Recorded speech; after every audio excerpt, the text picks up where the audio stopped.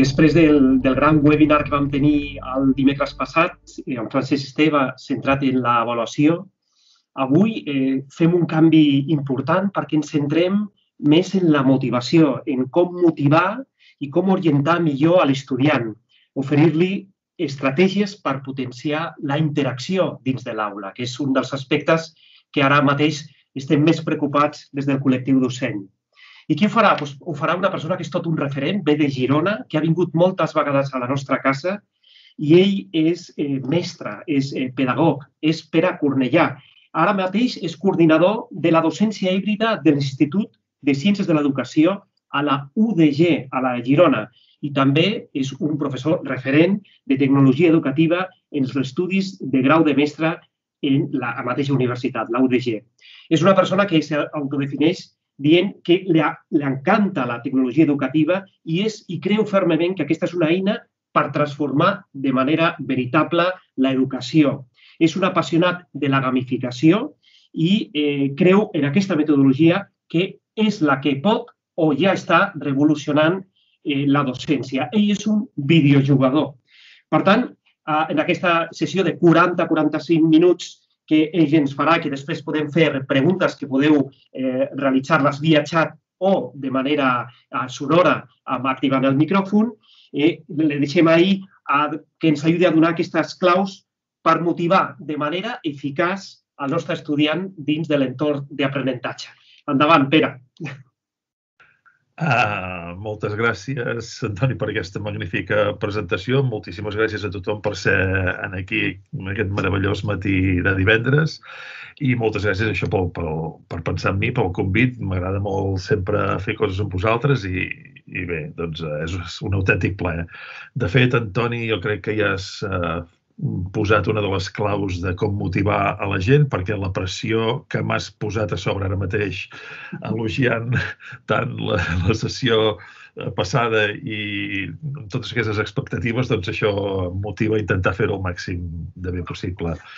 Um, com molt bé has dit, um, soc un apassionat de la tecnologia educativa i també de la gamificació i això es notarà en la presentació que, que faré perquè hi ha aquestes influències que són molt i molt importants. Per tant, si us sembla, va, jo crec que ja ho veieu. Es veu perfectament. Es veu perfectament. Molt bé, doncs uh, motivació i orientació de l'estudiant és el títol d'aquesta sessió, estratègies per potenciar la interacció. Començaré amb, amb un spoiler, uh, dient que no existeix una fórmula màgica. Uh, jo entenc que ja veníeu predisposats a escoltar això, no? No, no hi ha aquella, aquella pòssima que eh, la puguis donar i tothom de cop i volta estigui motivat, no existeix, però sí que hi ha una sèrie de, de maneres de fer, una sèrie de recursos, una sèrie d'estratègies que segur que ens poden ajudar en la motivació. L'altra cosa que us volia dir és que al final d'aquesta presentació que us passaré, l'última diapositiva, hi ha un enllaç per accedir precisament en aquesta diapositiva, en aquesta presentació, vull dir. O sigui que la podreu tenir a l'abast i la podreu tornar a consultar i si cal doncs, fer clic als enllaços que, que anirem trobant per aquí al mig. Um, per organitzar una mica el que us vull explicar, Um, faré aquests quatre moments, el què, el qui, el com i el quan, que situeix d'alguna manera el què mm, seria que entenem per motivació, qui, qui ha de motivar, qui és el motivador, qui ha d'estar motivat, el com, com es pot uh, arribar a motivar i estar motivats, i el quan, doncs en quin moment seria òptim per desplegar totes les nostres arts de motivació uh, i, per tant, fer que els aprenentatges dels nostres estudiants siguin millors encara. Bé, comencem per el què, i podríem començar amb una definició. De fet, és ben curta, però podríem dir que motivació, podem entendre la motivació com tot allò que ens mou a fer determinades accions, a, a dur a terme determinats comportaments. I és una definició molt àmplia, no? I, de fet, el que el que caldria esbrinar seria què és això que en diguem allò, quines són aquelles coses que ens motiven. Per això hi ha un psicòleg que es diu Stephen Rice, o es deia Stephen Rice, que el que va fer va ser um, desglossar quins eren tots aquests desitjos bàsics, totes aquestes accions que ens motiven a fer uh, determinades accions, que ens porten a fer determinades accions. I ell parla d'aquesta llista. Aquí sota teniu un enllaç que quan tingueu la presentació podreu accedir en l'article en el que en parla. Fixeu-vos, jo no sé si fem una repassada en aquí, si us podeu identificar amb algunes d'aquests de desitjos bàsics de Stephen Rice, no? acceptació, curiositat. Curiositat és aquesta ganes d'aprendre coses, menjar, família, honor, idealisme, independència, en, en el sentit individual de la independència, no, no com a país, l'ordre. Hi ha gent que eh, viu eh, o es desviu per, per l'ordre, no? Fer activitat física és un desig eh, bàsic. Només fa falta veure la gent que, que surt no, al carrer, córrer, fer eh, tip, qualsevol tipus d'exercicis, el poder, no us he d'explicar res del poder, el romanticisme, estalviar, no? allò de, de tenir recursos per després poder fer determinades coses contacte social, estatus social, tranquil·litat, venjança. Uh, si us ho preguntés, és possible que tothom digués, no, no, jo venjança no, no? Però no, no, no em motiva la venjança. Home, mm, sí, però segur que coneixem algú que sí, no? que li motiva la venjança. Per tant, no sé, fem-hi fem una volta. Aquests són els 16 desitjos bàsics uh, que Stephen Rice diu que tot ésser humà doncs, uh, té, no? I, per tant, podem agafar i estirar-ne algun d'aquests per si hem de fer alguna proposta, eh, alguna experiència educativa, doncs igual, agafant alguna d'aquests desitjos, podem començar a motivar els nostres estudiants. Deixeu-me fer un canvi, un altre punt de vista, és el de Daniel Pink, és un divulgador, de fet, mm, té un llibre que a mi m'agrada molt, que es diu La sorprendente verdad sobre què nos motiva, i és això, una lectura molt amena i m'interessa sobretot perquè parla de tres tipus de motivacions. Ell parla de, de la motivació 1.0, que seria aquesta més uh, clàssica de, de l'espècie humana com a, com a espècie animal, no? aquest desig de supervivència, el fet de perpetuar l'espècie. Aquí tindríem doncs, que seria el menjar, el benestar, eh, relacions amb, amb d'altra gent, no? Um, seria un primer bloc de, de motivació.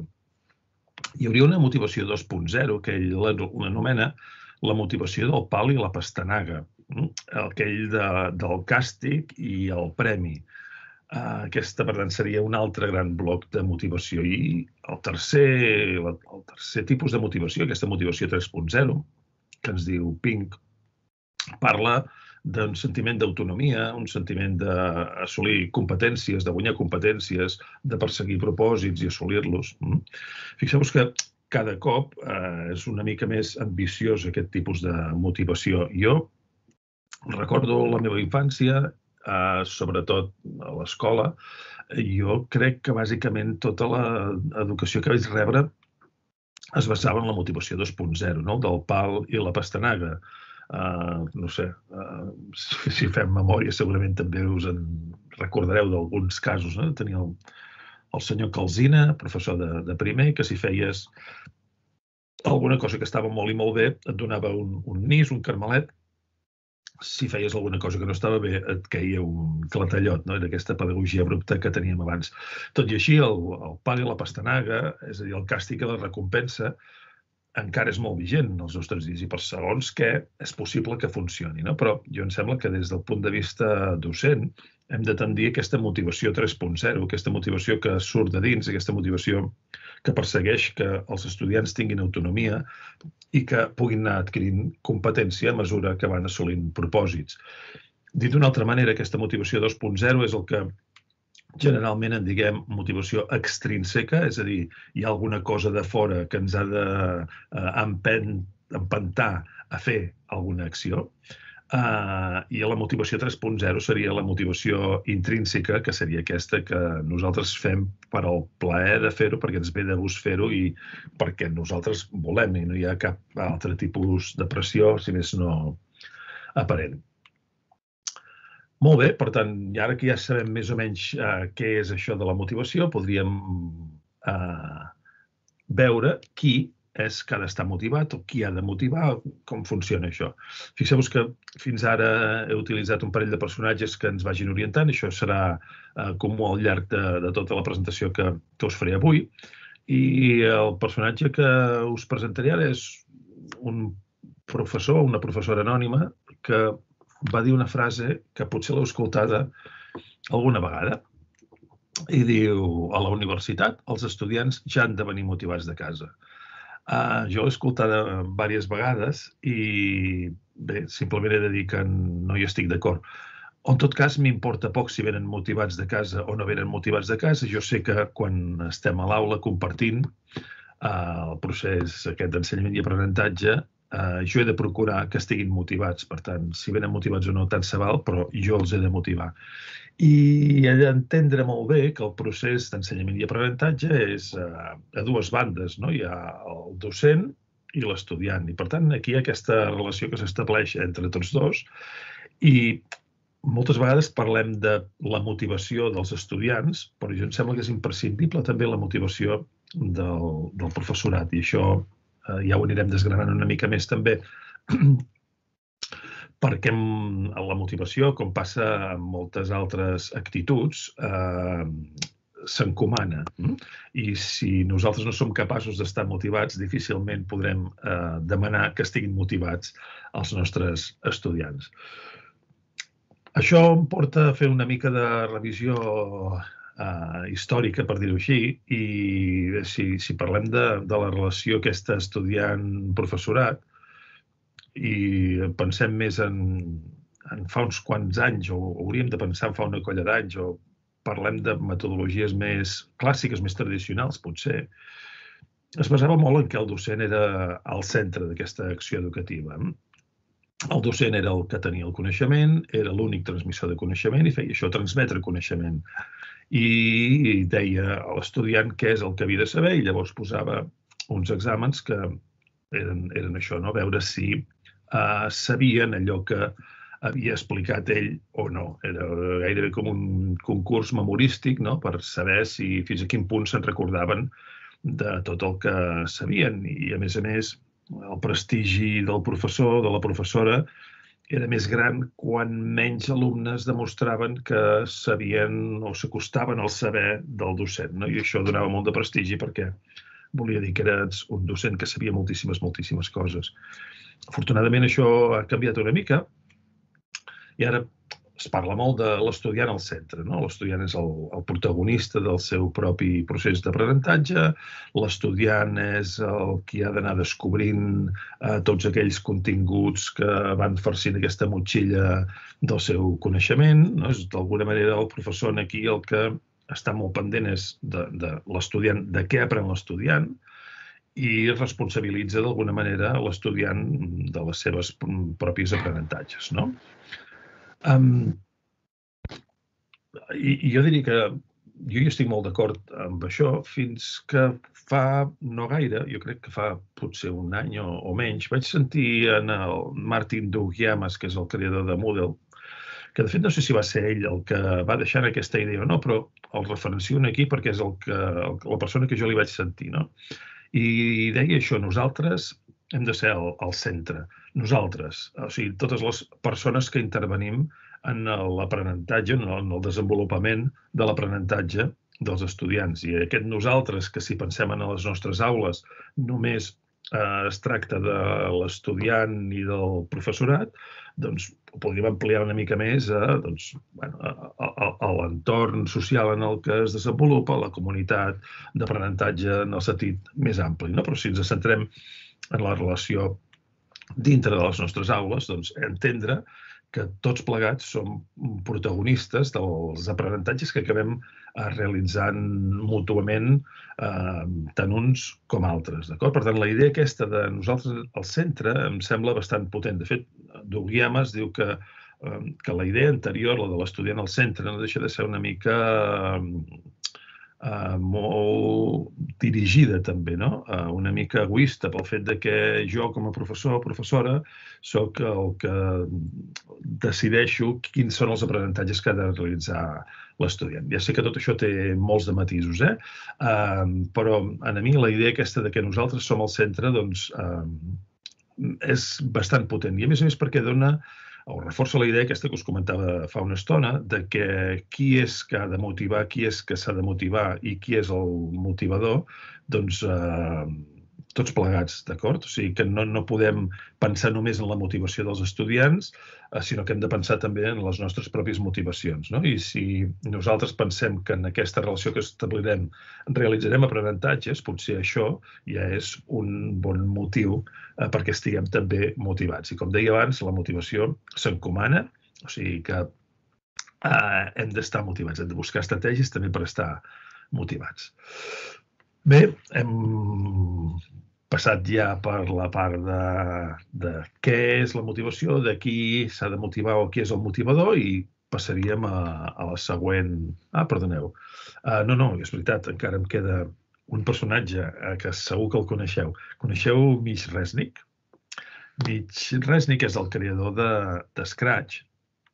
I per reforçar una mica la idea que us acabo de, de dir ara, uh, he agafat una de les seves idees, que és la de les 4 P's de, de l'aprenentatge creatiu. D'acord?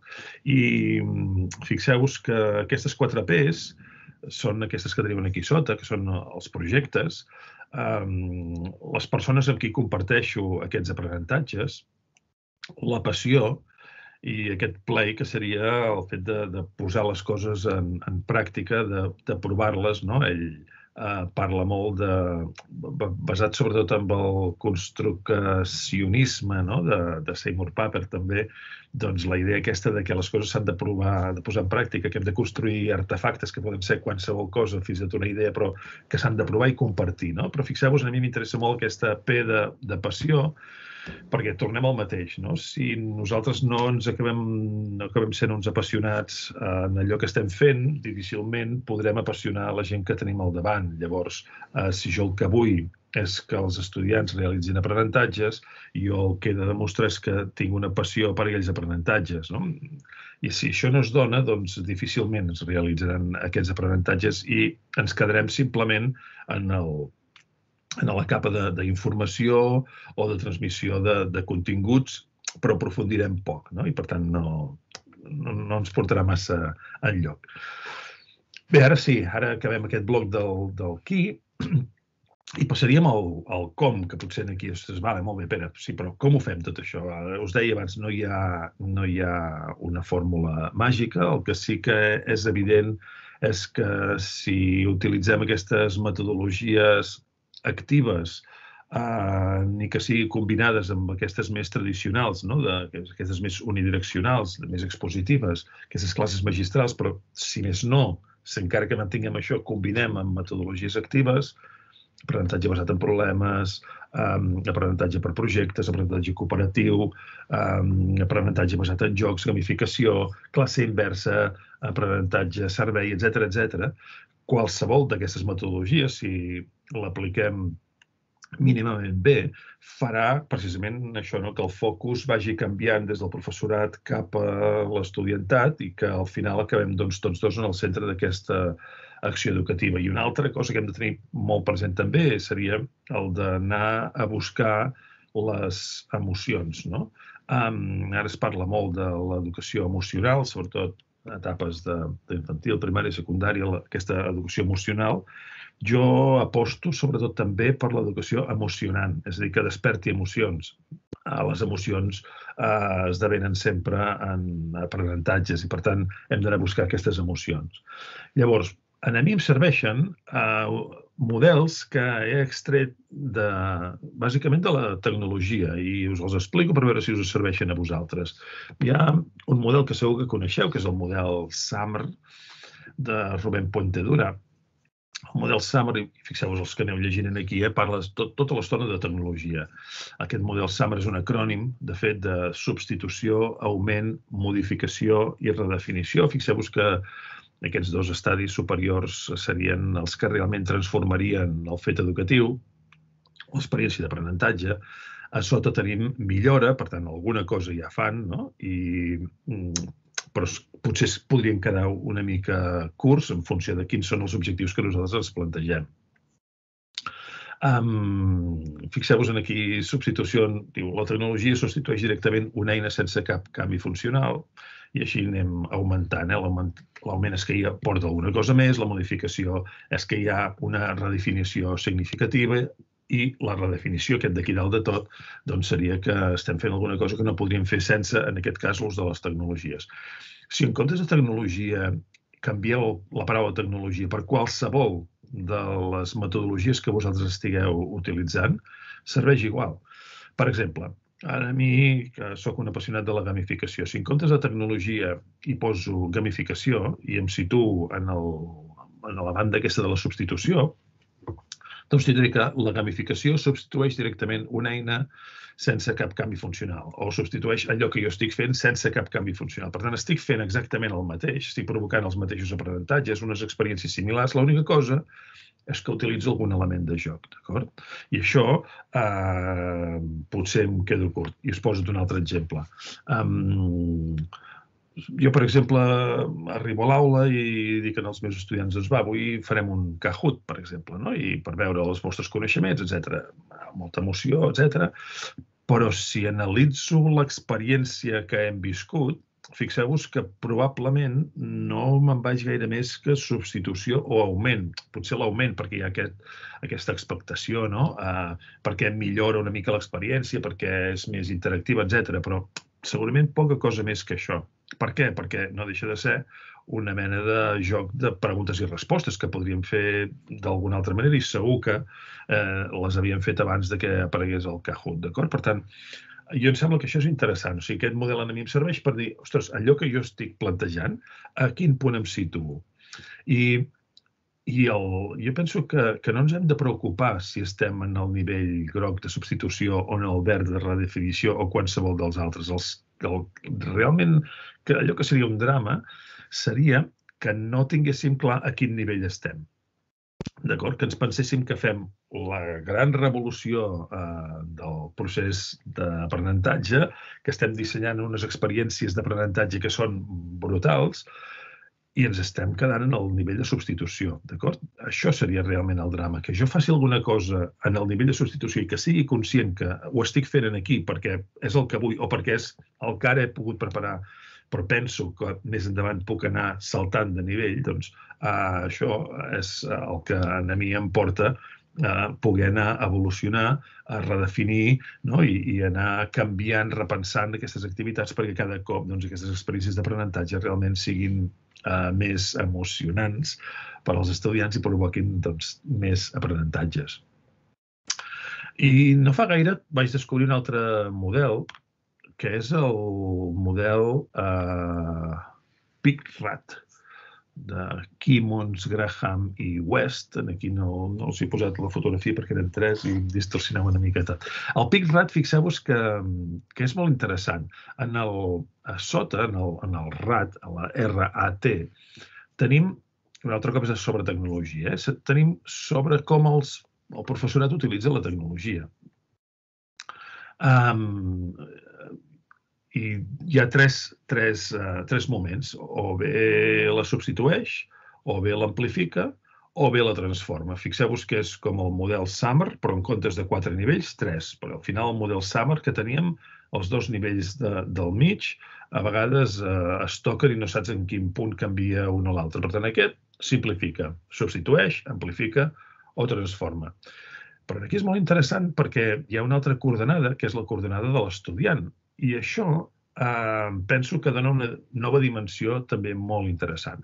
Fixeu-vos que la P seria doncs, que l'estudiant és passiu, la I que interactua i la C que arriba al nivell de, de creativitat, que és creatiu, d'acord? I d'aquesta manera, combinant aquest quadre de plantarada, ens apareixen aquestes nou caselles amb diferents combinacions. Llavors, torno al mateix que us explicava abans. Si aquí canviem tecnologia per qualsevol cosa que nosaltres estiguem fent, per qualsevol metodologia que nosaltres estiguem utilitzant, ens funciona exactament igual. I podem fer la reflexió de dir, ostres, allò que jo estic proposant-los, què fa? Substitueix, amplifica o transforma allò que jo ja feia sense l'ús d'aquests recursos o d'aquesta metodologia. I l'estudiant com ho viu això? Ho viu des d'un punt de vista passiu o pot interaccionar o se li demana que sigui creatiu. Uh, clar, si, vist així, diríem, a tothom uh, li interessaria arribar a la casella de dalt de tota la dreta, no? allà on realment l'experiència és transformadora i es demana la màxima creativitat de, de l'estudiant.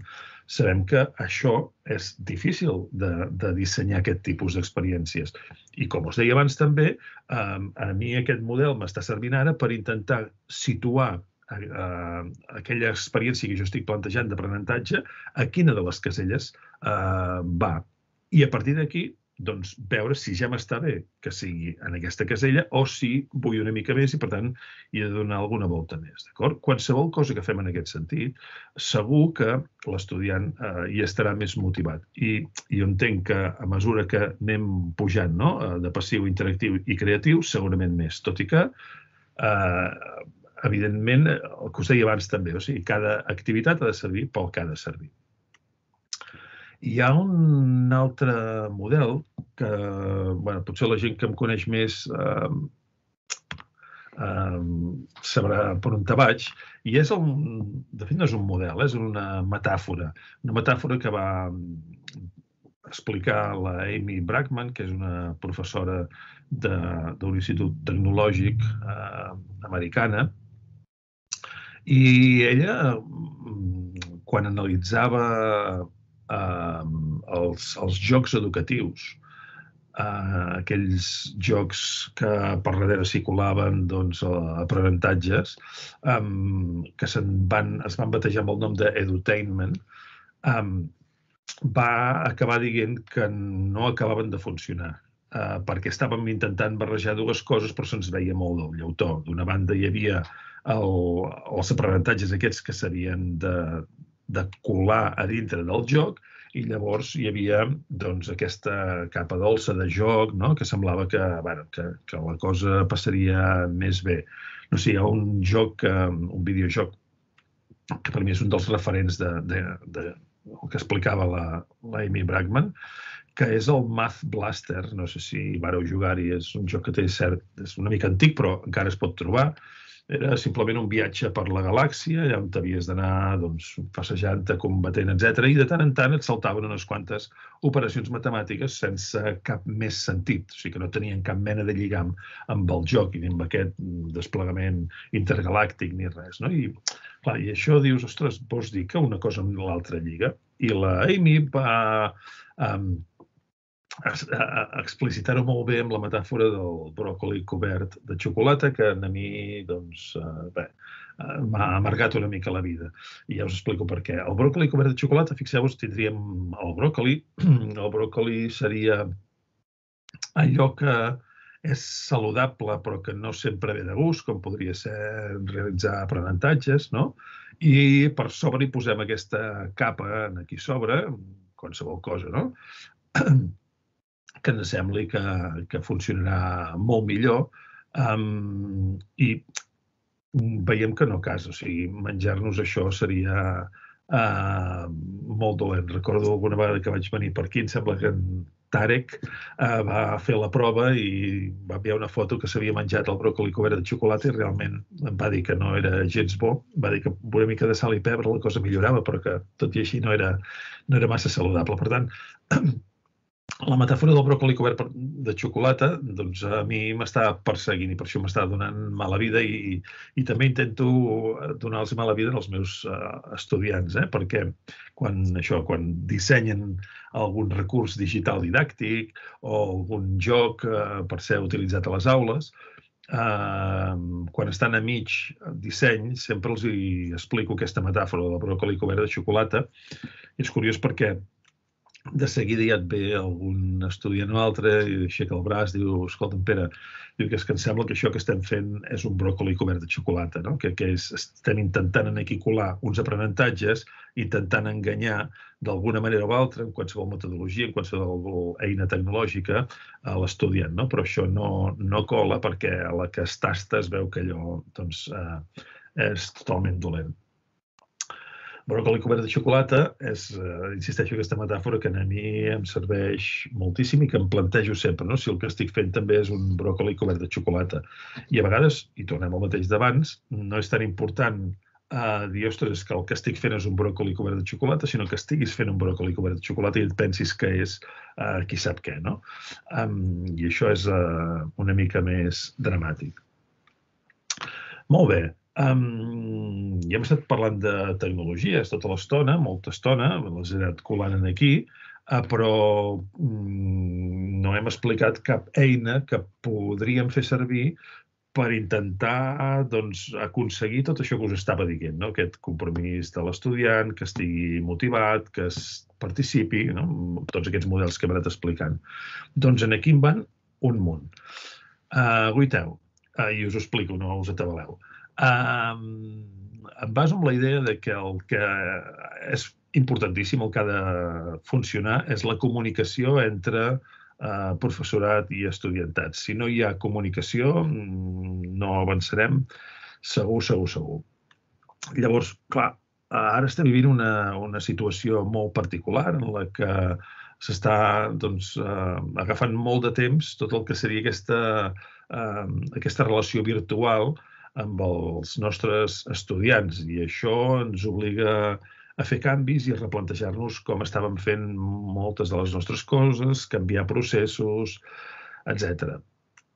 Uh, eh, es parla d'això, no? d'ensenyament híbrid, per exemple, i, um, i es parla molt del que és presencial i del que és no presencial. Uh, i, jo crec que en general s'entén el presencial si tu estàs uh, físicament en contacte, visual, si més no, i no presencial tot allò que no és això. O sigui, per exemple, ara el que estem fent ara nosaltres seria una relació no presencial. Des del meu punt de vista això no, no funciona així, sinó que el no presencial serien totes aquelles activitats que són asíncrones. Aquelles activitats que no necessiten de que estiguin en el mateix moment eh, professorat i estudiantat. Per exemple, podrien ser classes magistrals, presentacions, exposicions i segurament tot això, una de les formes, i ara ja anirem aterrant cap aquí, una de les formes de presentar-ho seria doncs, amb un vídeo fins i tot, no? amb alguna presentació en la que hi he posat veu, etc. Al costat de l'esquerra tindríem tot el que per mi és, eh, hauria de ser batejat com a presencial. I el presencial seria gairebé sinònim de síncron i en aquí hi hauria doncs, debats, pràctiques, tasques col·laboratives, etc. D'acord? Aquesta presencialitat, evidentment, pot ser física, ara mateix poqueta, eh, però sobretot és, és virtual, hm? que és el que generalment eh, n'hi ha més ara, no? més volum d'aquesta relació. Um, quan a aquest virtual tindríem un munt d'eines per fer videoconferències. En aquí, quan aneu passant per sobre, quan tingueu la presentació, veureu que hi ha un enllaç, per tant, podeu accedir a cadascuna d'aquestes propostes. Hi ha el Zoom, Google Meet, Jitsi, Discord, serien diverses eines per poder fer videoconferències. Jo entenc que vosaltres com a universitat teniu, si ho he entès bé, precisament el Google Teams com aquesta eina de, de comunicació a la Universitat de Girona tenim el Blackboard Collaborate, però també hi ha gent que està fent servir el Meet, Google Meet, hi ha gent que també està fent servir el, el Teams, aquí no hi és el Teams, eh? per això perquè no, no, no l'utilitzem tant per docència a la Universitat de Girona, ho hem d'afegir. Val. Um, i també en aquest eh, espai virtual eh, hi haurien d'haver-hi aquestes presentacions interactives. Aquestes, si faig alguna presentació eh, per força, ha de demanar la participació de les persones que són a l'altre costat de la pantalla. I en aquest sentit, el Genially eh, seria una eina que ens funciona molt bé i és molt senzilla d'utilitzar. És aquesta, la presentació aquesta que esteu veient ara està feta amb Genially. Però llavors n'hi ha dues que crec que són molt interessants. Hi ha el, el Mentimeter, que és possible que conegueu, no? que de tant en tant demana la participació de, les, de la resta de persones que, que estan escoltant aquesta presentació, o els Eatings, que és l'eina que utilitzo jo, que funciona de forma similar al Mentimeter, eh, té una versió educativa gratuïta que permet la concurrència de fins a 500 persones. Per tant, eh, és molt interessant veure com, a mesura que tu vas fent una presentació, pots demanar, pots llançar alguna pregunta, pots eh, demanar alguna valoració i quan responen a temps real es va veient el resultat del que van responent, d'acord? I aquí al mig trobaríem les, les plataformes. Vosaltres, com nosaltres, fem servir Moodle, però n'hi hauria d'altres com el Google Classroom, etc. Per tant, d'alguna manera, aquesta divisió que, que us mostren aquí vindria a dir-nos, i ara anirem més cap a la dreta, eh, però vindria a dir-nos que totes aquelles coses que són unidireccionals, aquelles coses que són simplement una exposició, aquelles coses que mm, són una presentació comentada o que això, eh, que només seré jo com a profe qui dirà alguna cosa, tot això, tots aquests continguts, són susceptibles de poder um, de poder-se gestionar d'alguna altra manera, de poder-se gravar, uh, de poder crear algun tipus d'imatge, infografia, uh, vídeo, el que sigui, per posar-ho a l'abast dels meus estudiants. No cal que estiguem en el mateix moment. No? De fet, ara el que estem fent aquí um, seria una mica això, estic, estaria pecant del que estic fent perquè no us estic demanant la vostra intervenció. Us la demanaré al final, això sí, no? però tot això us ho hagués pogut gravar, us ho haguéssiu pogut mirar i després eh, simplement ens trobem per parlar. Jo crec que hem d'anar una mica per aquí, eh? I que realment les sessions presencials mm, físiques eh, serveixin ben bé per justificar, o sigui, que hem de justificar que s'hagin de desplaçar a un lloc o a algun altre, d'acord? I en canvi aquesta, aquesta part mm, més uh, expositiva passem-la uh, asíncrona, no? I veig, no sé, exemples al meu voltant, la meva filla fins i tot que està fent primer a la universitat, no? que moltes de les seves sessions de classe són simplement unidireccionals. Això és uh, desmoralitzador de base. O sigui, això segur que no obtindrem un grau de motivació elevat dels estudiants. Ens podem refugiar en les excuses de que és que no hi estàvem preparats, és que eh, necessitem més recursos, etc. però eh, hem de ser conscients no, de que segur que podem canviar coses per eh, fer que les sessions siguin quan més participatives millor, si no, no, no té sentit aquesta sincronia. No? I per tant, aquesta banda de no presencial, entenem com a asíncrones, hi haurien doncs, bé, espais eh, per compartir, que també podem utilitzar en algun en, en tasques presencials, eh? però el Google Drive, els Padlets, eh, són espais en què podem compartir documents, podem compartir idees. El Flipgrid, que si no el coneixeu també us suggereixo que hi feu un com tu, el Flipgrid seria com una mena de fòrum, però amb, amb trossets de vídeo que tu pots pactar de dir, doncs mira, poden ser d'un minut, un minut i mig, dos minuts, fins a cinc minuts, el que sigui, però que en aquell moment doncs, eh, han d'explicar davant de, del mòbil o d'una pantalla de la càmera de, de l'ordinador, explicar alguna cosa però en veu. I això permet que hi hagi respostes, etc. I és molt, molt interessant. I quan eh, preparar materials, tindríem materials eh, en format imatge, i en aquí jo us recomanaria sobretot el Canva i el Photopea, eh, que és fantàstic, un editor gràfic molt i molt bo. I quan a vídeo tindríem doncs, el clàssic iMovie, tindríem algun shortcut per sistemes Windows i Linux, o l'Screencast-O-Matic o altres eines similars no? per gravar gravar la pantalla, gravar el que està passant, si has de fer algun tutorial alguna cosa d'aquestes, doncs l'Screencast-O-Matic seria una molt bona idea.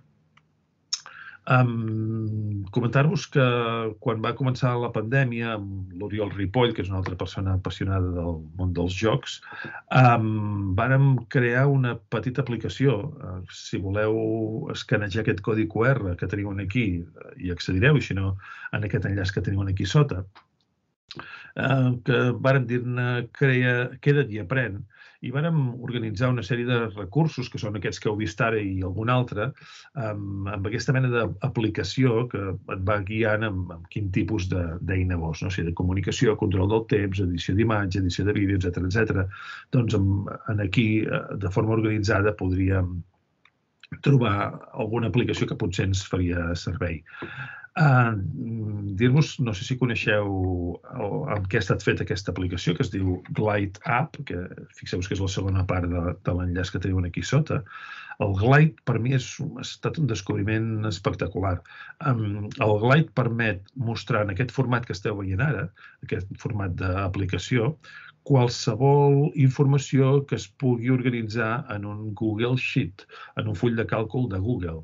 Llavors, és molt fàcil ordenar eh, en diverses pestanyes, en diversos fulls dintre d'aquest full de càlcul i per columnes, etc, tota la informació i llavors aquesta aplicació s'encarrega de donar-li aquesta forma no? i, i de, de gestionar tota el, la informació que tens posada allà. Per tant, aquesta és una altra, un altre bonus extra que us eh, faig arribar. Aquest Glide App serien aquestes aplicacions que són, ja dic, aquesta aplicació que serveix per això, eh, per transformar fulls de càlcul en aplicacions.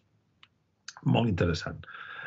Um, I bé, i passem a, a l'últim bloc, estem acabant ja. I quan ho hauríem de fer, això? Quan, quan hem de, uh, de motivar? Uh, quan hem de, um, això, no? de, de, de provocar uh, aquestes uh, aquestes emocions que puguin acabar motivant. Bé, doncs mm, jo crec que des del minut zero que comença la nostra assignatura fins al moment del xiulet final hem d'estar atents. I per això a mi em serveix també molt um, pensar la meva assignatura com si fos una història que jo he d'explicar. Um, I per tant us proposo que expliqueu les vostres assignatures i deixeu-m'ho desgranar una mica això. Hi hauria un primer pas en el que jo hauria de dibuixar molt clarament el marc de, de la meva assignatura, definir quins són els objectius i identificar quines són les competències que vull que assoleixin els meus estudiants. Això segur que ho feu, segur que hi ha un apartat, un pas previ en el moment de la pròpia docència, que és aquesta de, de planificar el que jo faré, d'acord? Un cop tinc dibuixat el marc, i aquest marc el comparteixo, evidentment, amb els meus estudiants perquè sàpiguen eh, a quin terreny de joc juguem, eh, la idea és que intentem escriure la història de la nostra assignatura. Això en algunes assignatures serà més fàcil, en algunes serà més difícil, però si ens imaginem l'assignatura com a narrativa, de dir, vale, en l'inici, què vull que passi, no? en el nus, quines coses han de passar, i al final, el desenllaç, com s'ha d'acabar aquesta assignatura, i, intento donar-li sentit, intento que hi hagi un contínuum eh, al llarg de tot el que jo faré, això ajudarà a l'estudiant a estar molt més situat en el que està fent. Tindrà la sensació de que progressa al llarg de la nostra assignatura, de la mateixa manera que saps que progresses en un llibre perquè vas passant pàgina i vaig veient que el número és cada cop més gran. I aquesta sensació de progrés és el que segur que provocarà uns millors aprenentatges i, i farà que hi hagi una implicació més gran de l'estudiant en la nostra assignatura. Un cop hem escrit aquesta assignatura perquè s'entengui, hem, hem de fer entendre què volem, eh, el que hauríem de fer seria seleccionar eh, continguts i anar-los distribuint, no? anar, anar trofant la nostra assignatura amb aquests continguts que volem que serveixin per provocar aquests coneixements. Un cop tenim aquests continguts creats, hem de planificar, hem de dissenyar activitats d'aprenentatge hem de dissenyar aquestes experiències d'aprenentatge que han de viure els nostres estudiants. I els anem també situant al llarg d'aquesta eh, narrativa, al llarg d'aquesta història. Després, des del punt de vista, el que hem de fer és eh, avaluar avaluar algunes d'aquestes activitats que posem. De fet, de totes les activitats que plantegem, de totes hem de donar un retorn. El que passa és que potser no cal avaluar-les eh, totes si en l'avaluació, i això, si no vaig errat, en vareu parlar moltíssim ja en la sessió anterior, si en aquesta avaluació utilitzem rúbriques, això encara serà molt millor. Per què? Doncs perquè els estudiants sabran abans de eh, realitzar l'activitat com seran avaluats. I una cosa que jo estic començant a fer ara, que no és fàcil però m'agrada molt, és um, co-crear les rúbriques d'avaluació. O sigui, que les acabem pactant entre els estudiants i jo i, i, em sembla que això els fa també partíceps del fet aquest d'aprendre, no? I els fa implicar-se, allò que dèiem, no? Se'ls fa implicar més en l'assignatura i això fa que estiguin més eh, motivats també. eh, sempre, ja des de que comencem l'assignatura, la comunicació ha de ser cap dalt, no? de ser bàsica. Um, ve fent tutories individuals, tutories de grup, a part de les sessions de classe i tenir doncs, oberts aquests canals de comunicació i que no ens faci mandra. Um, comunicar-nos amb ells. Uh, el fet de que moltes de les sessions siguin virtuals fa que hi hagi molt d'estudiant que es quedi perdut i despenjat moltes vegades. Hem d'anar a intentar recuperar totes aquestes, totes aquestes persones que poden quedar una mica despenjades, doncs fent això que sentin que hi ha algú al costat, encara que no sigui de forma física, però sí que hi hagi algú al costat que està pendent de, de què fa i què deixa de fer i de què el vol acompanyar al llarg dels aprenentatges. I finalment eh, hi ha un darrer apartat, que això seria obligatori, que seria aquest de revisar i redissenyar eh, tot allò que hem estat mm, treballant i veure com ho podem eh, modificar perquè encara sigui millor. Si ens podem basar en algun dels models, el Summer, el Pig Rat, el bròcoli cobert de xocolata, segur que tindrem algun referent per dir, ostres, doncs veus, aquí podríem fer algun canvi. Demanar l'opinió de l'estudiantat també és eh, important, veure com ha viscut l'assignatura, no? i si realment ha entès la narrativa de la nostra assignatura o bé no l'ha entès. Si en aquesta narrativa hi afegim qualsevol eh, eh, metodologia activa de les que dèiem abans, doncs fantàstic. En el meu cas, jo utilitzo la gamificació precisament per intentar cosir aquests continguts i donar sentit als reptes que els hi vaig plantejant eh, perquè són els que eh, amb ells els donaran idea de què van avançant, van progressant, s'ho passaran més bé, veurem que allò que estan fent doncs, eh, té un fruit. I això seria tot. Han passat aquests tres quarts d'hora. Um, si voleu, ara obrirem un torn de paraules. Aquí tenim el l'enllaç a aquesta presentació que podeu recuperar i interactuar i, i anar fent com a vosaltres us, uh, us convingui. Um, no he donat cap fórmula, ho he dit al principi, però em sembla que potser sí que he donat alguna idea com per poder fer algun petit canvi o algun petit pas per afavorir que hi hagi aquesta motivació per part dels estudiants. Parlem-ne. Era un petit, no, un gran canvi. Estem molt motivats després d'escoltar-te de, i jo crec que ens has posat damunt de la taula aquesta revolució educativa que planteges i que queda clar que, que ara no hem de fer bròcolis coberts de, amb xocolata, sinó que hem de buscar eh, fer bons gelats de xocolata i que eh, posar-nos en aquesta situació d'estudiant. És el moment de que tothom pugui participar eh, aixecant la mà o en el xat indicant alguna pregunta. Anem a veure eh, si ja tenim alguna persona que vulgui participar. Com som, hem superat, jo crec que és un rècord d'aquest mes de febrer, més de 60 eh, participants al llarg de, la, de tota la sessió. I, i és això. De, mentre van fent alguna pregunta, aquí ja tenim una pregunta de Lina. Què passa si els estudiants no volen la ludificació a l'aula? Eh, es planteja l'INA, que hi ha un conjunt d'estudiants que això de la ludificació no l'acaben d'assumir. Sí, de fet el que he explicat serveix per la gamificació i serveix per qualsevol, o sigui, per qualsevol altre tipus de metodologia. Eh? Um, en el meu cas, jo no, no m'he trobat mai ningú que hagi dit que, que no vol participar-hi activament. Alguns sí que ho trobaven una mica infantil, n'hem estat parlant. Um, fixa't que és a dir, que la gamificació només seria una excusa per intentar augmentar aquest nivell de compromís i aquesta motivació. Però tot el que he explicat, per exemple, en el, en el moment de, de explicar la teva assignatura, de com pensar cadascun dels passos, eh, són independents d'aquesta metodologia. O dit d'una altra manera, hi ha un, un cos que s'ha de mantenir I l'altra cosa és la metodologia en la que tu hi estàs arribant. En a mi, arribar a aquesta reflexió profunda de com vull que els meus estudiants aprenguin, com vull que els meus estudiants s'impliquin, com vull que participin en l'assignatura, com vull que co-creem les rúbriques d'avaluació, per exemple, m'hi ha ajudat a arribar-hi la ludificació, la gamificació. Però no és l'únic camí, sinó que n'hi poden haver-hi d'altres. Jo el que sí que reivindico és que tots, en algun moment o altre, fem aquesta reflexió, no? dir, ostres, anem a, anem a veure com funciona tot això que jo estic eh, immers, no? Aquest món de l'educació, vale? com ho viuen els estudiants, no? com ho visc jo, estem contents, ens ho passem bé, eh, es realitzen aprenentatges, tots aquests raonaments, totes aquestes preguntes ens portaran a dir, ostres, doncs jo vull canviar coses i per canviar m'agafo allà on sigui. Jo em vaig agafar a la gamificació i a mi m'ha funcionat. Eh?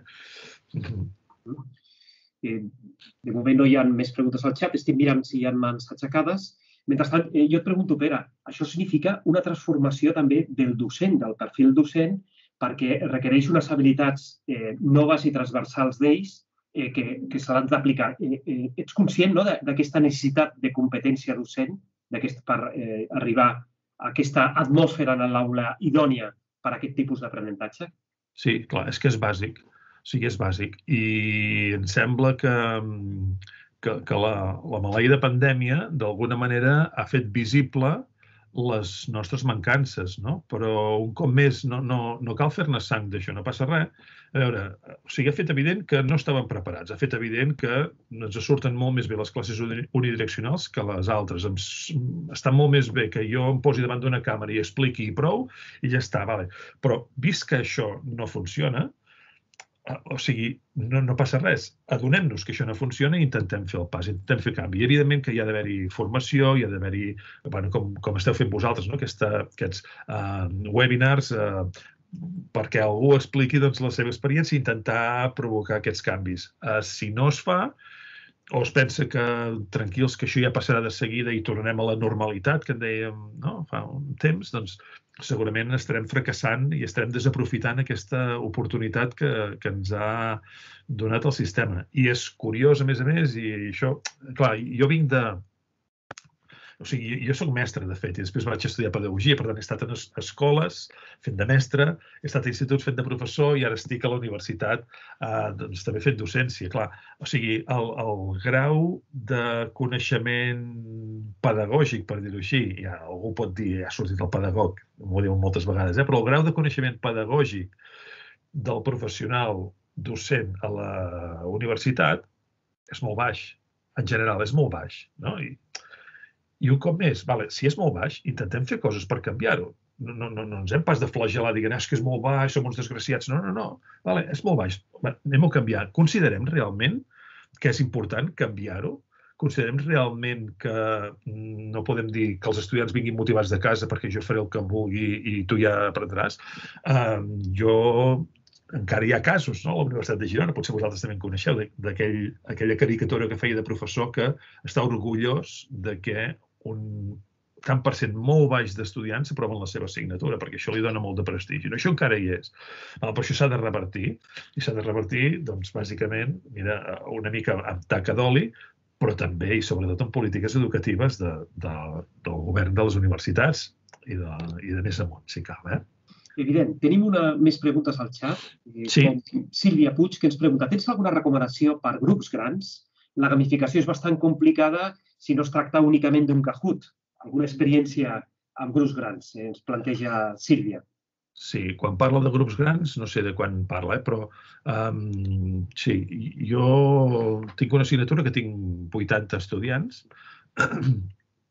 i en aquí el que, el que faig és una gamificació light, per dir-ho així, perquè a més a més comparteixo aquesta assignatura amb d'altres persones. El que sí que intento és, és això, no? posar alguns elements de joc a dintre de, del, del que jo faig. Faig cajuts, eh? I, i és allò que deia, o sigui, no, no, espero que no ningú m'hagi malinterpretat. No és que m'hagi carregat els cajuts. Els cajuts estan molt bé, però un cop més, sabent que estàs fent un cajut i no volent fer un cajut cada setmana. Vaig anar a una, una sessió que hi havia un, profe, un grup de professors i professores que parlaven de gamificació i, i parlaven dels cajuts, no? I deien, ostres, és que varen fer el primer cajut i la gent supermotivada.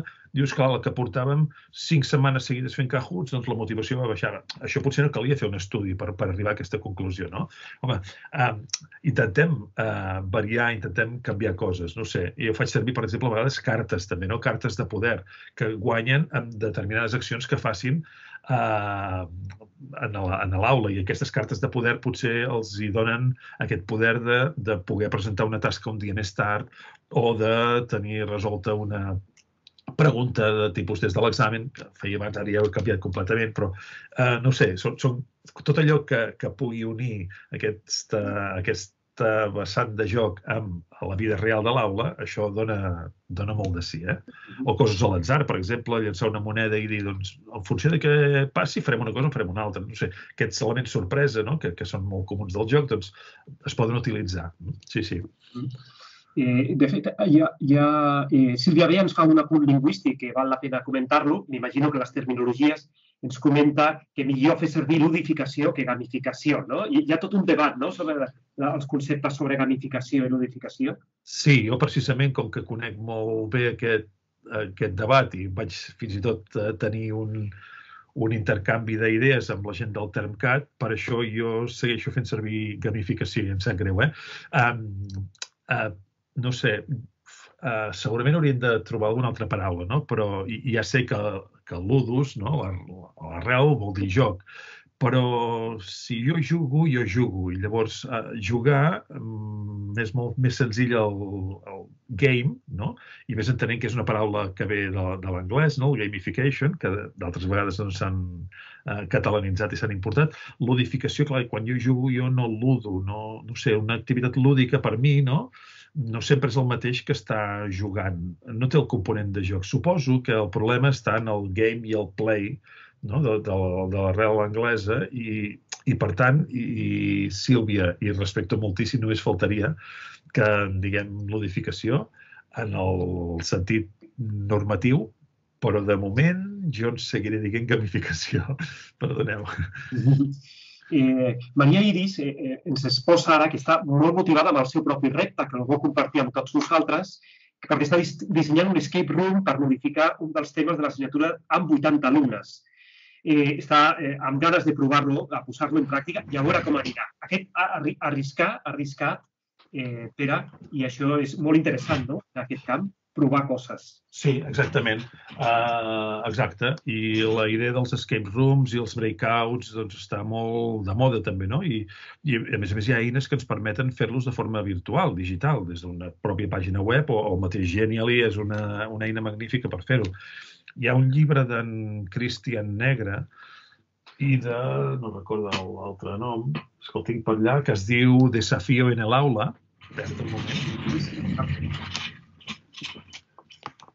i apuntem la referència.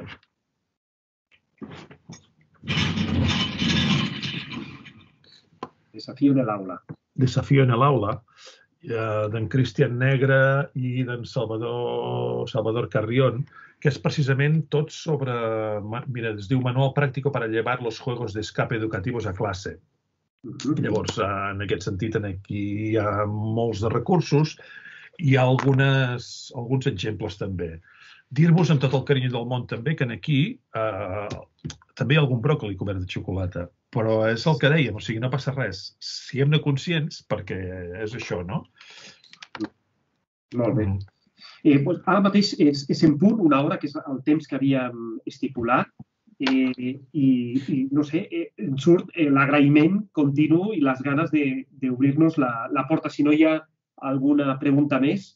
L'agraïment d'aquesta sessió que ens ha donat eh, un, un, més elements a la, a la nostra capacitat docent no? i aquesta, eh, aquest impuls a continuar eh, fent la revolució, com ens planteja Espera, i motivar més els nostres estudiants de manera eficaç, no únicament amb bròcolis en coberta de, de xocolata. El dimecres vinent a les 10 hi ha un altre webinar molt interessant, en aquest cas un especialista que ve de la UOC, que és un, un, eh, l'entitat de, de referència en l'àmbit no presencial, i és Marcelo Baina que ens parlarà d'orientacions per al disseny d'espais i d'activitats per a un aprenentatge actiu online. serà el dia 17 de febrer a les 10 hores. Eh, tots vosaltres eh, també podeu ara emplenar l'enquesta per fer la certificació de, del seguiment de l'aprenentatge de l'ICE, que ara us posarien l'enllaç o podeu anar al, al Moodle per, per emplenar-la. I, I res més, agrair-te, eh, Pere, aquesta supersessió que la deixem enregistrada perquè tothom la pugui gaudir i consultar per posar les bases a aquest gran canvi que ens has presentat, Pere. Genial, doncs moltes gràcies a vosaltres eh, per això, eh, per, per poder compartir aquesta estona amb vosaltres i m'ho passo molt bé. Estic molt motivat jo de compartir coses amb vosaltres.